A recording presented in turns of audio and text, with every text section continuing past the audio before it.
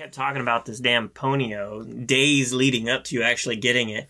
Not once actually really explaining what the hell you're talking about. I'm like, Pony-O? what the hell is a Pony-O?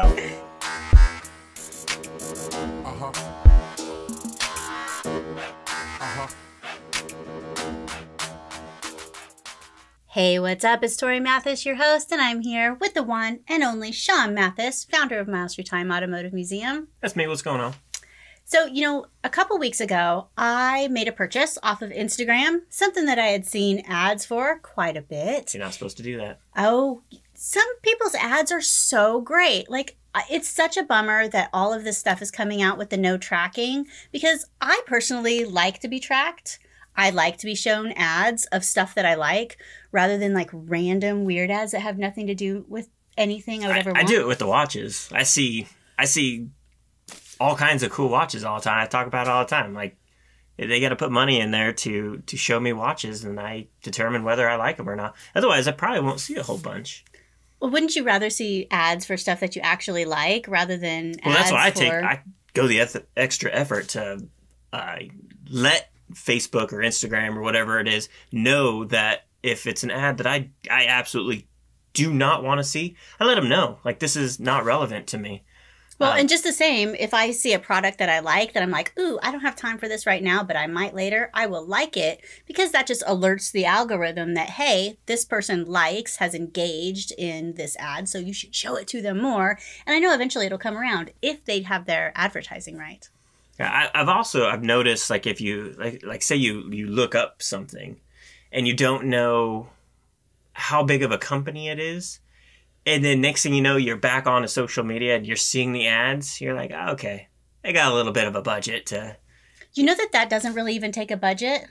It does not at all. No. All it takes is your stuff to be set up right. Yeah, yeah. If you have the Facebook pixel set up on your website and somebody comes to your website and then goes to Facebook or Instagram, if they have tracking enabled, which hopefully they do, um, then you're able to show them ads. And it's, it's, I like it. I, you know, I think it's more of a a, a seriousness, you know, like when I talk For about the the watch that you know like, it looked shady. I, I don't know if it's a real company, um, but it, it like if it all just starts to connect and it, I don't know, it's it's like that. Um, I go back to that business that was in Livonia where she's like, ah, it's a hobby business. I'm like, what the hell are you doing a business for if it's a hobby? Sean and I are not fans of people saying that it's a hobby business. Like that can't be some excuse for like I I don't really try. It's a hobby business, you know?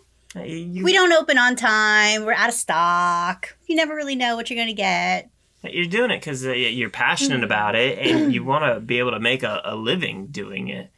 Uh, anything else, and they're fooling themselves. So, this product though that I bought, you could think that this was going to be a hobby business because it is the most insignificant ish. Maybe this this girl might be a millionaire. I don't know. I should probably look her up.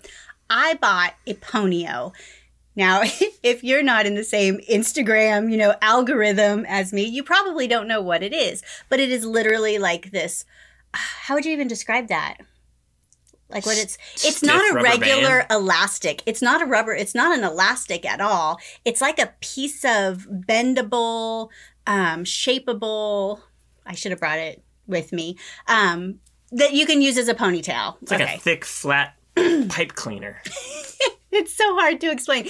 Anyway, I had been seeing Instagram videos. This is a very visual product. Like you have to see what this thing actually does um, in order to like understand what it is. But it's literally like it's a ponytail holder, but it's not like your regular elastic. So it's supposed to stay in your hair for a really long time. It doesn't crimp it back, um, and it doesn't pull your hair, and it gives you like a little poofy kind of ponytail.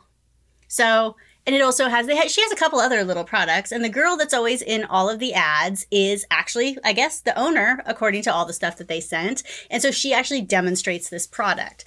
And like I said, it's one of those like you you probably should demonstrate it. Like me explaining to you, like it doesn't make any sense. But if you went and looked it up and you saw the video, you would like totally. So then you it. kept talking about this damn Pony-O days leading up to you actually getting it.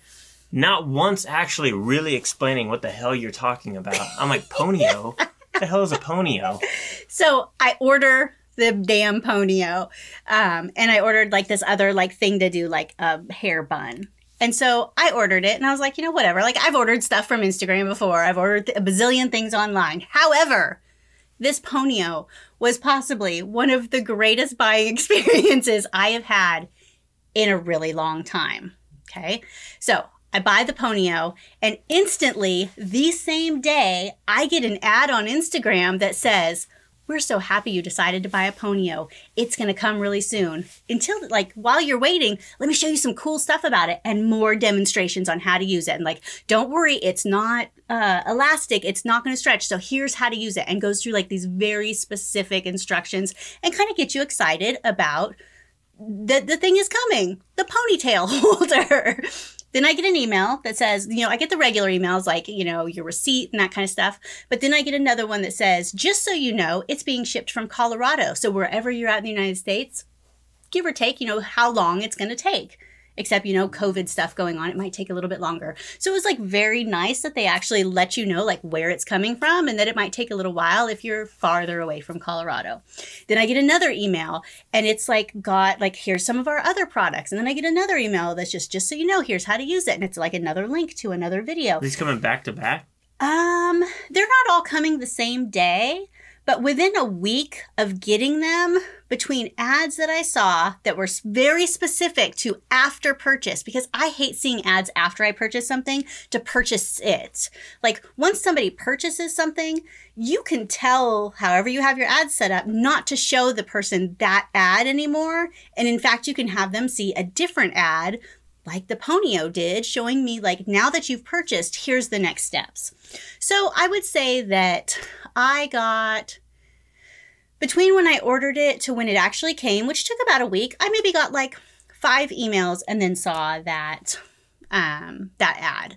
Then when it did come, it actually had like a little booklet inside that was very informative that said, you know, here's all of our products, here's how to use all of them.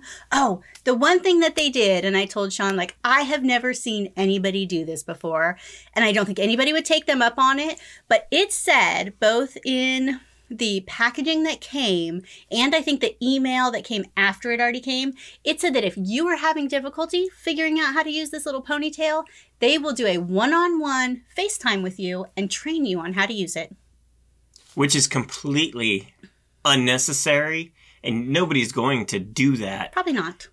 but the fact that they offered that Absolutely. Like they offered. makes you feel like holy hell this company really cares Absolutely. like they're going to stand behind what they just sold you which makes you feel really good about that purchase which is exactly what you want all of your customers to, to feel like like I can't believe the amount of the detail that went into it and the attention. Like they really thought about, and you know, Sean and I talked about this since, and like, okay, when somebody's going to be buying this product, like how are they going to feel? Like how are they going to feel while they're waiting for it? And they really just like met you at that, like I don't know when it's going to come. Well, they let you know and they let you know where it was coming from, and and because it's a little bit unconventional, and because it's not um, like a traditional ponytail, like I could see somebody getting it and going like what the fuck is this? You know, like they're thinking it's something they're not. And we've talked about it before that expectations are one of like wrong expectations are one of the worst things for your business. When somebody's expecting one thing and they get something totally different. Not that it's bad, it's just that it's different than what they think they're going to get. We talk about miles through time with expectations that every great once in a while, Sean will get a bad review, uh, usually not really bad, but I think the fact that it's bad is that they didn't look it up, they didn't know what to expect, and maybe they were expecting really big and super fancy. And so if you had that expectation, if you think that you're going to barber and you get miles through time, you'd be like, hmm, like, not what I thought it was. And I think that expectation can ruin a customer's experience. So if somebody's expecting an elastic ponytail and you let them know multiple times, like it's not elastic, here's how you actually use it, which is different than a regular elastic ponytail, then once people got them, like hopefully they like actually looked at the stuff, um, that they wouldn't have that, um, you know, a mismatched expectation. Yeah, it's like um, right, if you've ever bought a car, right? And the the place that you buy it from, whether it's uh, privately owned or a dealership or something, they, they tell you all these cool things about it, stuff that would make you get excited about this purchase, and oh, this is such a great deal. Uh, but then if they leave out all the other stuff, you know, say it's a used car, and and maybe the the center console's worn. It it, it actually is going to need tires in a couple thousand miles. Uh, the clutch is a little loose. I mean, there's so many different things that they don't tell you that part of it because they're just they're selling you on how great this is, and it, it almost sets you up immediately for that that you know deep down in your stomach uh, awful feeling of regret and you shouldn't have purchased it. And then it makes it so that you wouldn't want to buy that you know anything from that person or dealership again where if they would have been like you know this is a used car so there's a little bit of wear on the center console. Be aware you know you may need tires in a couple thousand miles. Or hey better yet the car needs new tires in a couple thousand miles, we're going to go ahead and put new tires on there for you. So now all already you've changed the thought process of, of them going, wow, you know, they knew it needed this and took care of it. And, and, you know, it's a used car. I expect a little bit of wear and tear. It's not going to be perfect. And then you get it and you're like, this You is, you this could- is awesome. They could always also, instead of if they didn't want to put the tires on, couldn't they say, well, we know it's going to need new tires, so here's a 25% off if you come to us for them? Would, would Oh, that abso- be, absolutely. you know, something like that that you, you There's- know there's what's going to happen. Of, uh, rebates from tire manufacturers that they could literally just shuffle off and say, "Well, here's a rebate for 250 bucks on a brand new set of four tires," and they didn't have to do anything.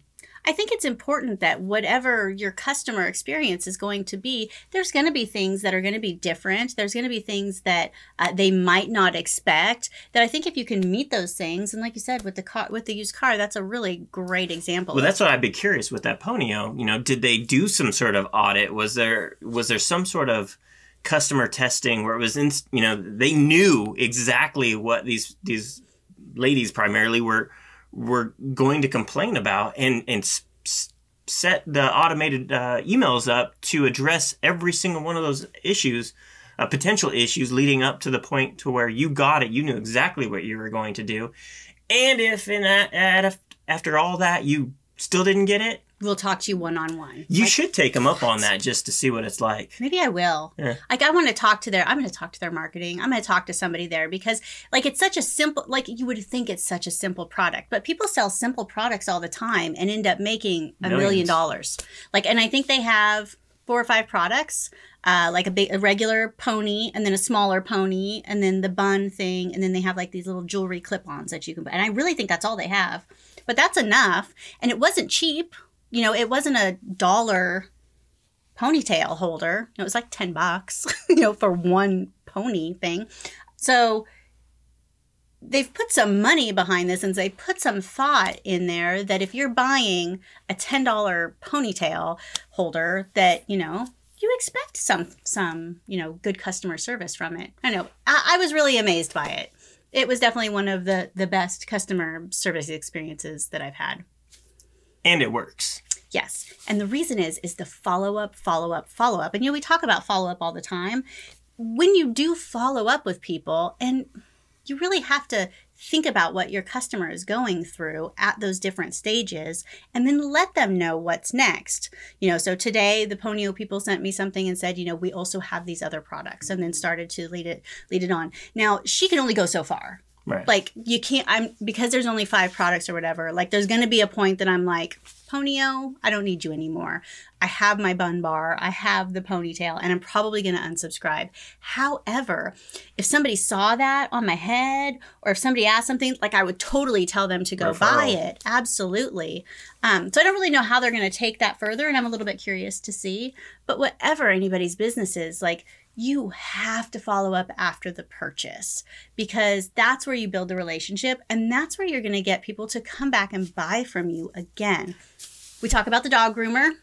You know, my dog's nails needed to be cut. And instead of taking him to the dog groomer, because it's so easy to just forget about it, we waited until Sean's sister came and she cut the dog's nails because that's, you know, Oh, she works for a vet and that's what she does. Um, but, you know, we went to the dog groomer. I've gone there twice they have never sent an email, they've never collected my email to send an email to tell me I should come back. And it would be such an easy thing to do because dog nail cutting, dog grooming is just one of those things that somebody needs to come back every six weeks, just like haircuts.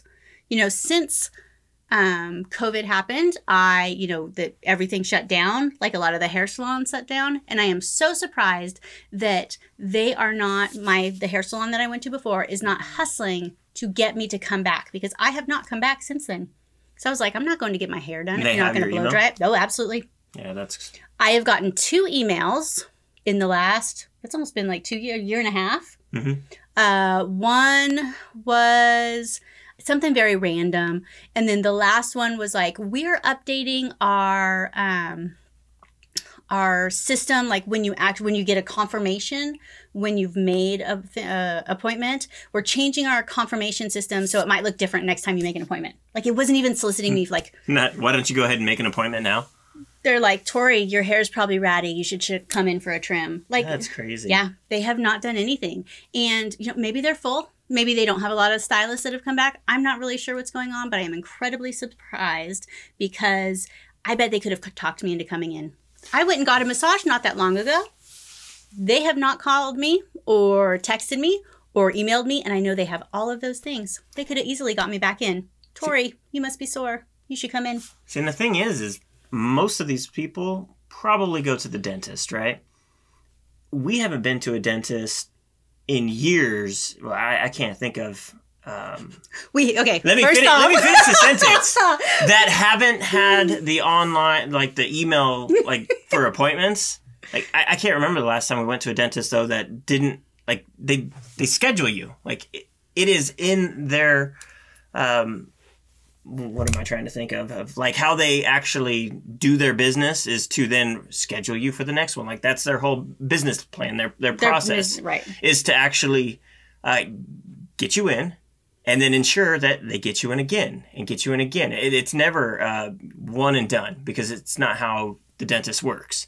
And and a lot of people go to the dentist and, and they're experiencing this firsthand when they go in and they get their teeth clean and then they go out and they pay and they're like, okay, we'll see you in six months. Like they, I, I guarantee all these people that own these businesses have experienced that, and yet they forget it when it comes back to their business, and it could totally apply. Absolutely. You could always any of those things that I just said, the dog grooming, uh, the massage, and you could either give them a free gift or uh, there's incentives that you could do to get them to book before they even leave. You know, because if somebody came in there once, as long as they didn't have a bad time, they'll come there again. Most people don't want to have to go do the research again. Like if they've had a good time, if they've had a good experience, they'll absolutely come again. Right, and the, like, I mean, you don't, you really don't have to give them anything because what you're giving them is convenience, eh, which is what I want. Like, I don't want to think about it. once if you know the dentist hasn't screwed up. Um, and they're close and convenient. They're they fall within our insurance policy that I don't have to pay anything extra. Why would I go anywhere else? Like, let me know when I, you know, I got to come Well, back again. I think the reason that maybe you would want to give them an incentive is if they haven't come in. So let's say the dentist missed you, you know what I mean, or the massage place or oh, whatever Oh, sure. missed you and didn't make that appointment. Then if they contacted you later, and you could even set it up that if you contact them once, you contact them twice, like on the third time, maybe you offer them an incentive. That way you could get them in at full, full price.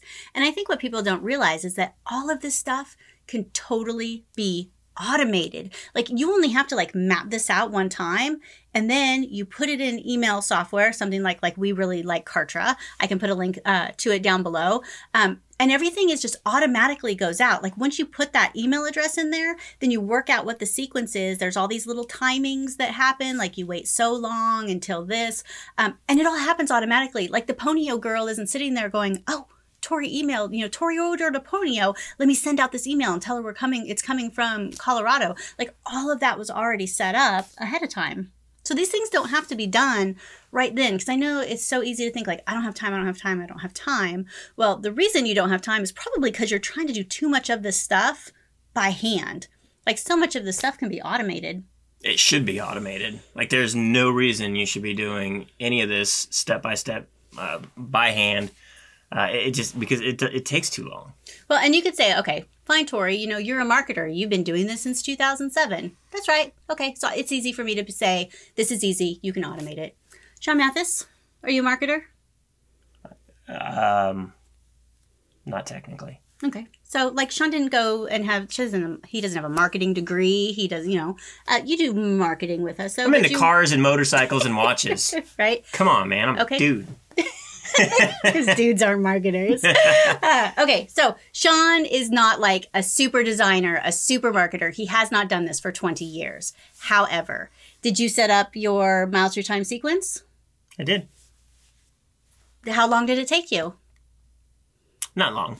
I, I don't remember exactly, but it, it wasn't long. And I actually just did another one Tell me about that one. uh, for I auto- think people think this is for hard, automotive museum. You guide. Just, you just need to sit down and map it out, and you need to do it. So tell me about the automotive museum guide one. So, uh, automotive, like, I'm I'm not perfect, right? So, Automotive Museum Guide has had a um, pop up form and a, a newsletter sign up form.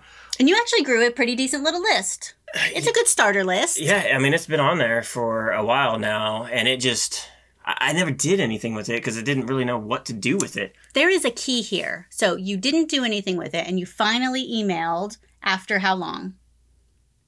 Some of the, over a year. Okay. And what happened?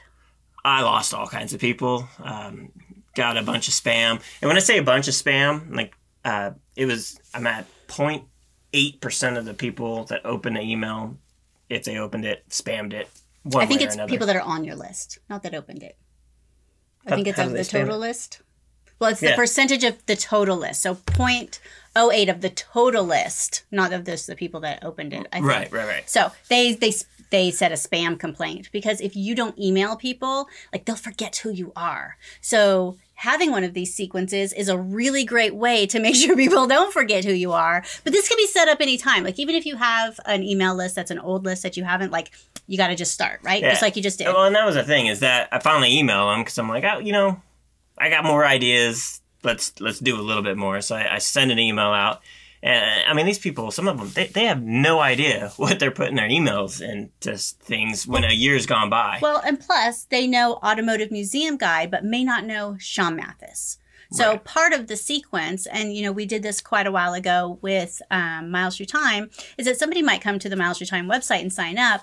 They need to immediately know who Sean Mathis is because Sean Mathis is the guy that's going to be sending them emails. See, we didn't do that on Miles Through Time either No, immediately but, we- either. but but you did do it, and I think that now that you have that, because the sequence that Sean put up for Miles Through Time introduces Sean Mathis first, because that's who the emails are going to come from, and gets them to personally like know who he is, like know your story and your why and all that stuff. So then they have a vested interest in like, I like the Sean Mathis guy, or they're like, fuck this Sean Mathis guy, and they unsubscribe, which is fine, right? right, right. But at least now they know who he is. So now they get the rest of the email sequence that talks about the museum and why it's different and talks about Truett. And so then once Sean starts emailing them every, you know, couple weeks, then they know who he is. So so it didn't happen right away, but that's okay. It is happening now. And so I think that's good. So you did set up the welcome sequence for Automotive, Automotive Museum Museum guy, and I didn't do a whole lot of emails, uh, but I did.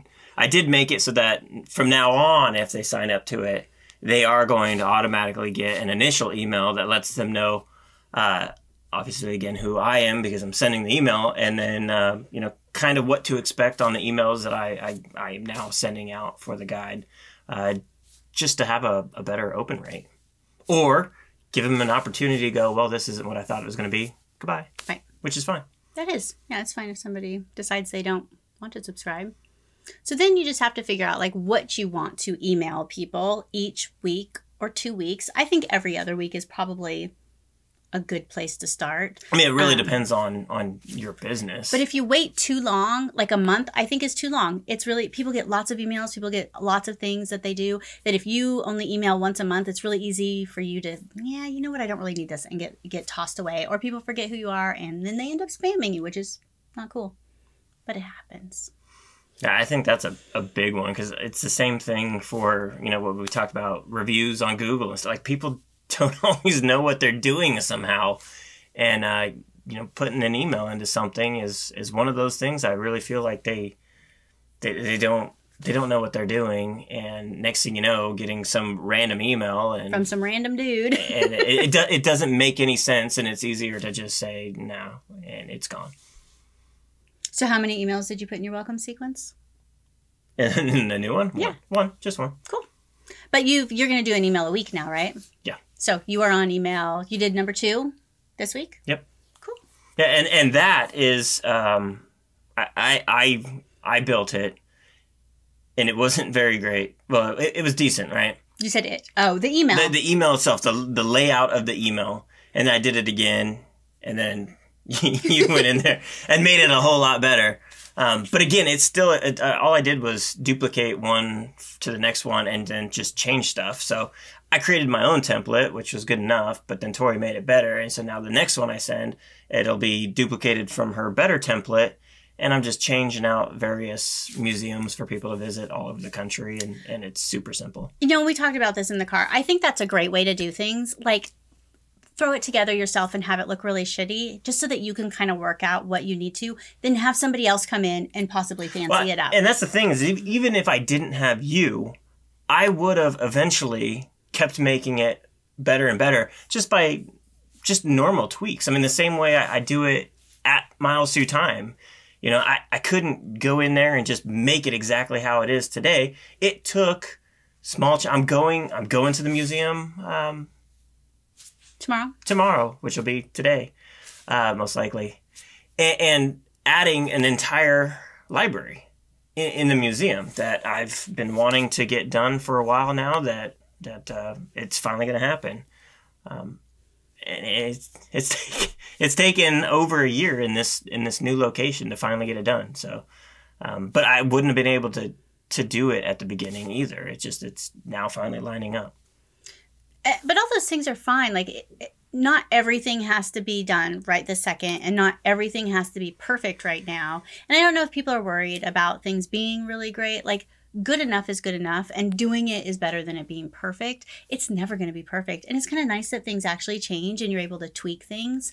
Um, it's not like you're printing something that once you print it, like that, it is what it is. Like, that's the beauty of sending emails or, you know, having your website or your email sequence is that you can always go in there and add a new picture or change up your text or you know redo the whole thing like or have somebody you know like me come in and actually design it so it looks nice you know change a few things. Somebody that has a little bit of an eye of detail or of design that can make it look a little bit prettier. But sometimes you just have to kind of like bleh, get your Well- ideas out because it's hard to be like Torie design me an email. Well what do you want in your email? Well i don't really know. Well, you know and you kind of worked through that a little bit I was just gonna say, how many times have you had a client that you know it's usually a website or something, and they don't have one, but they want one.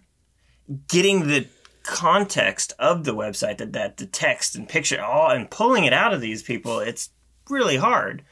Um, where if they would have just put something up there, you know, good enough to get them by, and then they became ready, they said, "Well, here's my crappy website, make it better." it would expedite and make it so much easier for the professional designer to then take that material and make it good. Yeah, a lot of times uh, you you got to f- figure those things out and you got to like be able to have that brain dump of ideas and sometimes it is better just to put something crappy together that at least you can kind of start to work out those details. Things don't have to be perfect right away, um, but these things like email follow up, like they can make such a big difference. And so, even though you haven't done it before, right now is a great time to get it started. And even if you just put together something really simple, you know, even if the dog groomer just put together, you know, a series of like five emails that just talk about different things of grooming that they did, give a couple tips, and if they said every six weeks you should probably get your nails your dog's nails trimmed and then said why like what could happen if i don't? Like your dog could break a nail. Have you had a dog break a nail? Like it's traumatic. Um you know uh, it could get an infection. Like all these things that could happen and they're like well shit i didn't think about that. Maybe i should do it. Like all you have to do is think about it and start to just kind of outline these things and then you can keep adding to them Plus, I mean, if they can automate the actual appointment as well through those emails, it's like all they got to do is check their schedule on their end and go, hey, yeah, we got customers coming in making money.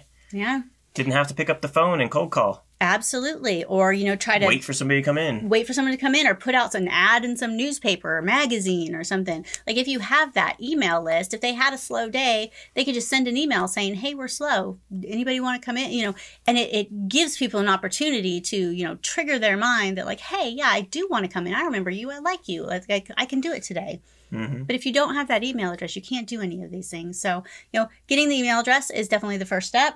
and then just getting a really simple sequence thinking about what your customer is going to be doing after they buy from you, after they've come in, uh, giving them more information so that they keep wanting to use you. Uh, give them information on like what's going to happen if they don't. Like that's another really great thing too. Like you know, if you don't get a massage, what what could happen if you don't cut your nails? What's going to happen?